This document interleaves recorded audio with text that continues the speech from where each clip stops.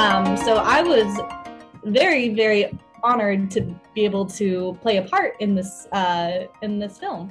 So, yeah. um, in this political climate to, to have something like this in you know kind of like a bite-sized like you know consumable entertaining form is i think is just a very really useful tool for changing people's minds How and I know how important it is, and I know how important this type of story is to tell, and it's important to get this story heard and as much as possible.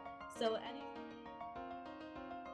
she's one of the ones that will be most affected by mark's death uh, kate she is um uh, the, his uh, girlfriend and through those interactions we begin to kind of see um, mark as like a, a person who who has dependence kind of she depends kate depends on mark emotionally for you know support and just you know it's a legitimate love that they share and so sh- when um yeah it's just i think it makes the story hit harder um when we know about their relationship.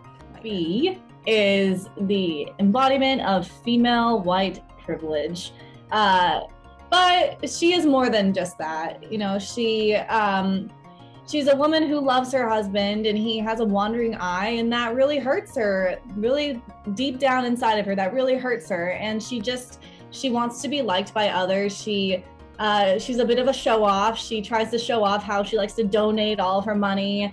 And um, she gets a lot of her self-esteem from the outside world.